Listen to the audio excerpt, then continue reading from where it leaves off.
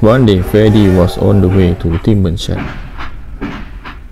when suddenly a giant monster appears. Tyrant began attacking Fre- Freddie along the tracks, smashing his engines left and right and tearing him apart. And smashed Freddie with a huge tail. Off the track, Freddie goes.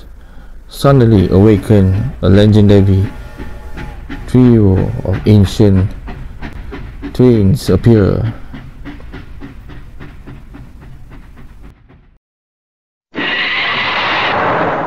Legendary twin appear and attack the tyrant monster. Rescue Freddie away from the monster. Then suddenly the twins become a giant robot in disguise.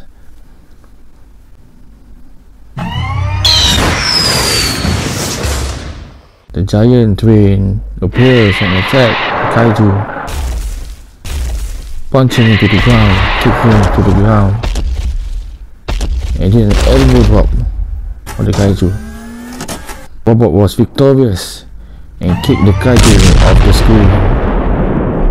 The giant robot transformed himself to a twin once again.